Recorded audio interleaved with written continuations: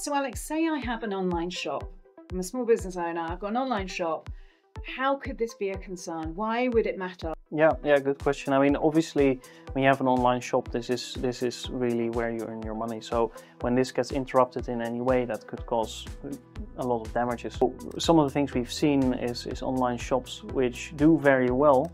However, they, we've seen issues where you know the payment vehicle could be easily replaced by someone who's, who's skilled, like a hacker, Yeah. uh, for their own payment vehicle. And you know, there's many cases where we've seen that these these SMEs only find out after a while because uh, it takes them a while to realize that payments are not going their way but another way.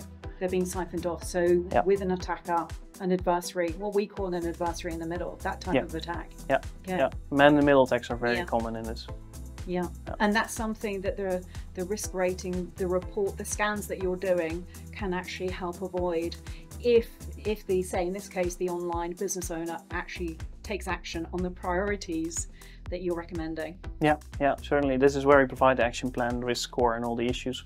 Um, because we take, you know, a scan from the outside, we look at the same things any hacker or malicious actor would look at.